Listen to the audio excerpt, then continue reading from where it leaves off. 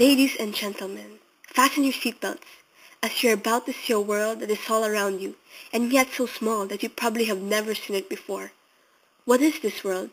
It is the world inside your body, and inside the bodies of all living things, it is the world of the cell. Inside the cell are tiny organs called organelles. The word organelle is a big word that means small organ. These organelles function to provide for the needs of the cell.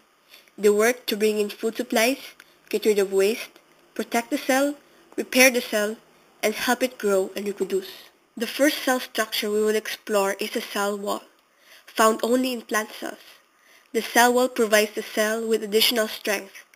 Cell walls are thick walls built around the cell. These walls are made from cellulose. In order for a cell to remain healthy, the cell needs to be able to bring in food and get rid of waste. Look closely at this picture. You will notice that the cell membrane has small openings or doorways. These openings allow the cell to move materials in and out of the cell.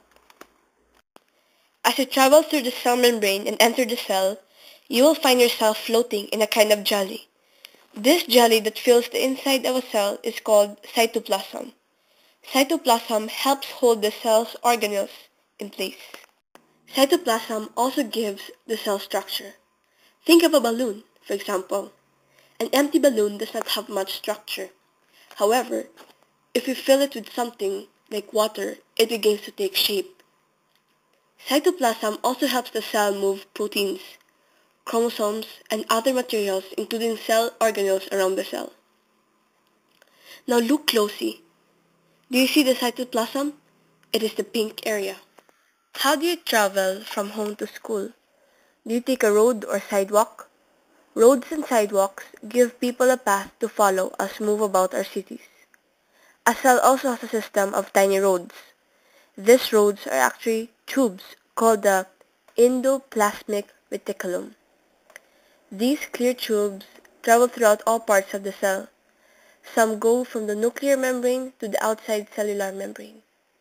Others travel to different organelles. Throughout the cell, the endoplasmic reticulum carries materials where they need to go. Whenever you hear the word endoplasmic reticulum, just think cellular highway. So climb aboard the endoplasmic reticulum as we prepare to travel and explore the rest of the cell. As you travel along the endoplasmic reticulum, you will notice that stuck to the side of this tube are several small balls called ribosomes. Ribosomes use available materials to build proteins. These proteins can then be used with the cell for other purposes, such as to build new structures, repair damage, and direct chemical reactions. So why do you think ribosomes are found on the walls of endoplasmic reticulum? Think about it. Remember the endoplasmic reticulum is the cell's transportational system? When a ribosome is done building a protein, it can release it directly into the endoplasmic reticulum, where it can then be transferred to wherever it is needed. Not all ribosomes end up attached to the inside of the endoplasmic reticulum.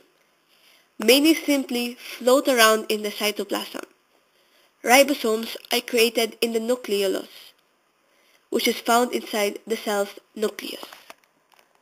The Golgi apparatus is a set of flattened, membrane-bound sacs.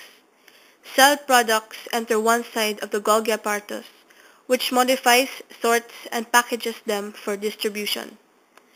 Vesicles that contain newly made proteins move through the cytoplasm from the ER to the Golgi apparatus the vesicle membrane fuses with the Golgi membrane. Inside the Golgi apparatus, enzymes modify the proteins as they move through the organelle. On the other side, the finished proteins are enclosed in new vesicles that bud from the surface of the Golgi apparatus. Many of these vesicles then migrate to the cell membrane. As the vesicle membrane fuses with the cell membrane, the completed proteins are released to the outside of the cell. Now here we are in lysosomes. They contain hydrolytic enzymes necessary for intracellular digestion. They are common in animal cells, but rare in plant cells. hydrolytic enzymes of plant cells are more often found in the vacuole. Lysosomes recycle worn-out products. So here's a picture of lysosomes. Vacuoles are small sacs are filled with food and water. They are used by cells as storage tanks.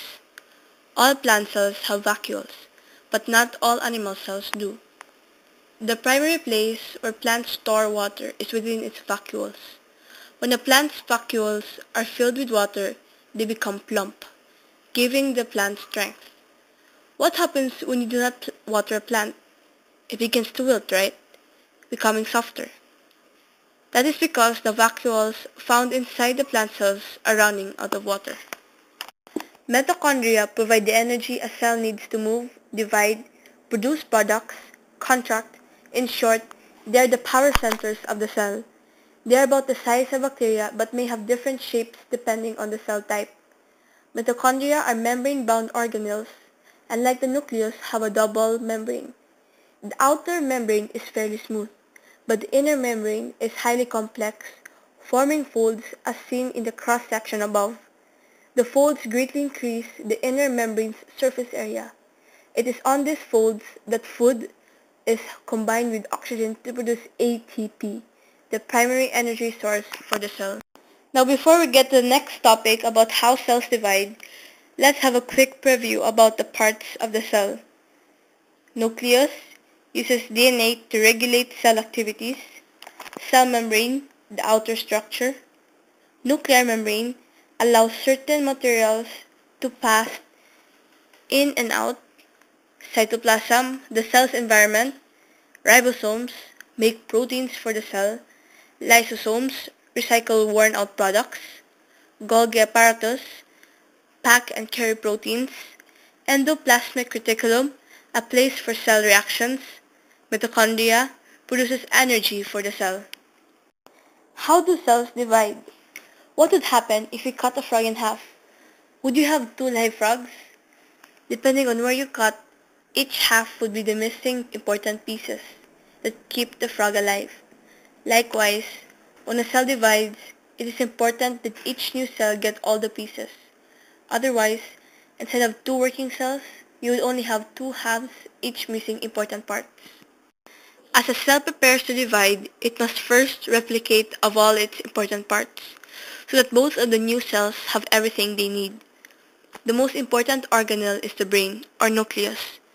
Through a complex process, the nucleus splits in two, making two identical copies.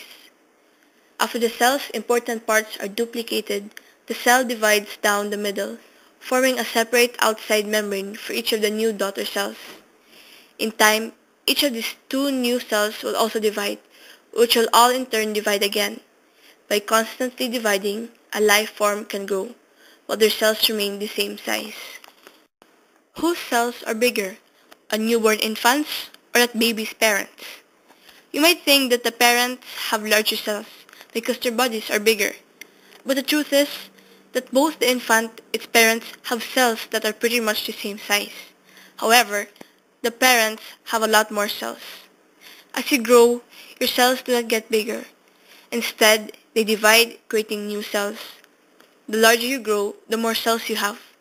Why don't cells grow very large? The answer to that question lies in the cell's outer membrane. The job of the membrane is to protect the cell from outside danger, while allowing food to enter through openings and waste to exit. If a cell were to grow too large, the cellular membrane could not keep up with it.